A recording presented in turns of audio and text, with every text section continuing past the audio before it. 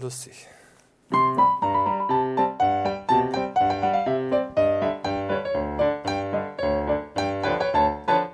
Herzlich willkommen, meine Damen und Herren, hier bei Fips Asmussens Witzestunde.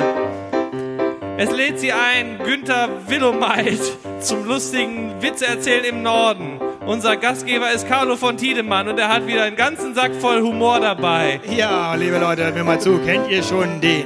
Kommt eine Frau zum Schlachter und sagt, ich hätte gerne 200 Gramm Leberwurst, aber bitte von der groben, sagt der Schlachter. Wieso? Die ist doch heute in der Berufsschule.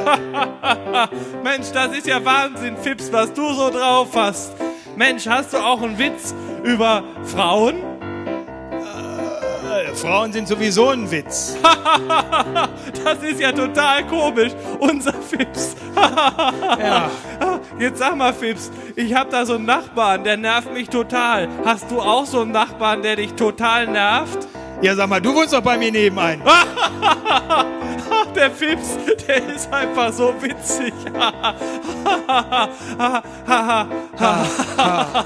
ich krieg mich nicht mehr ein vor Spaß. Schlechte Witze erzählt er den ganzen Tag. Schlechte Witze, die eigentlich keiner hören mag. Er ist Mr. Lustig in seiner Fantasie.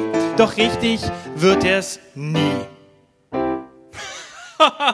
Erzähl doch noch mal einen Witz, jetzt bist du mal dran. Kommt ein Mann um die Ecke und der Bus ist weg. ja, das ist ja witzig. Was hast du denn am liebsten zum Essen? Spaghetti. Aber das war gar nicht lustig, Fips.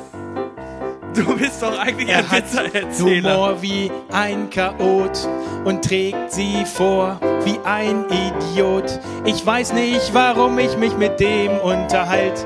Der Typ ist total, total durchgeknallt. Er hält sich für Mr. Lustig, doch richtig witzig wird er nie. Bevor ich über den lache, schieß ich mir nen Semmel durchs Knie. Das ist einfach zu komisch. Komm, wir gehen noch ein paar Witzbücher lesen. Und tschüss.